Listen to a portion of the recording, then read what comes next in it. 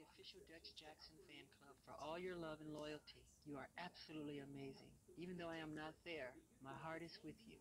And I thank you for standing up for the truth. Keep dancing, and I'll see you soon. God bless you all. I love you. Thank you.